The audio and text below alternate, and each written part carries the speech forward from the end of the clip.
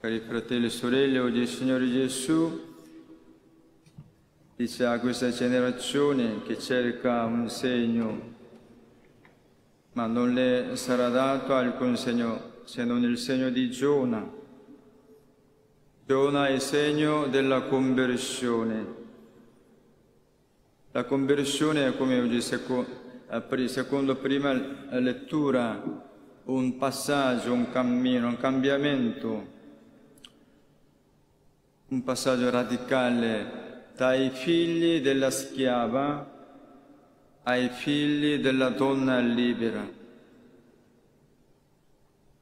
Poi anche Francesco, forse un altro Giona, Francesco era anche segno della conversione.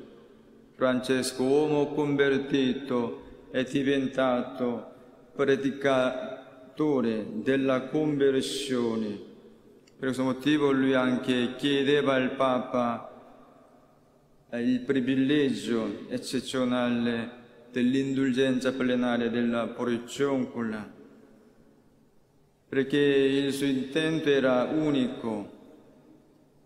Lui ci mostra lo scopo della conversione. Io voglio mandarvi tutti in paradiso. Ancora riappare quel cambiamento, il passaggio fondamentale e dai figli della schiava ai figli de, della donna libera, che è la nostra madre Gerusalemme celeste.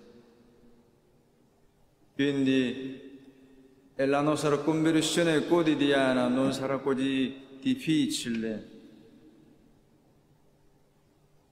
Ogni tanto, ogni tanto, non posso dire sempre, ogni tanto alziamo i nostri occhi al cielo, ci domandiamo verso dove sto andando.